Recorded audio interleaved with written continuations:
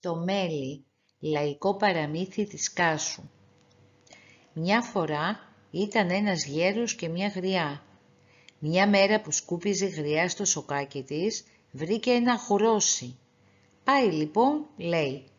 «Ω κακόμοιρε γέρο, δες, βρήκα ένα γρόσι».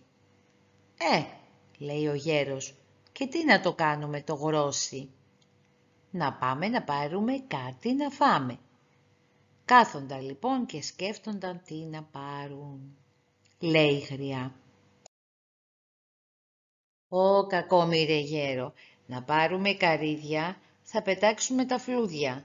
Να πάρουμε φουντούκια, θα πετάξουμε τα φλούδια. Να πάρουμε αμύγδαλα, θα πετάξουμε τα φλούδια.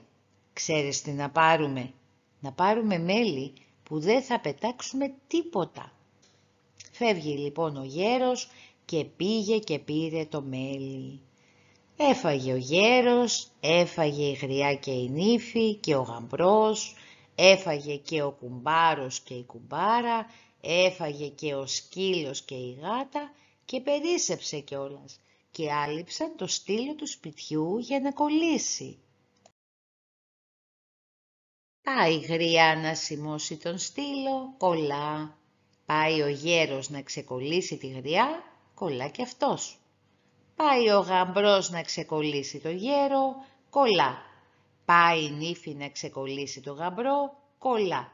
Πάει ο κουμπάρος να ξεκολλήσει την νύφη, κολλά και αυτός. Πάει η κουμπάρα να ξεκολλήσει το κουμπάρο, κολλά και η κουμπάρα. Πάει ο σκύλος να ξεκολλήσει την κουμπάρα, κολλά και αυτός. Πάει η γάτα να ξεκολλήσει το σκύλο, κολλάκι γάτα. Δεν απόμεινε κανένας που να μην κολλήσει.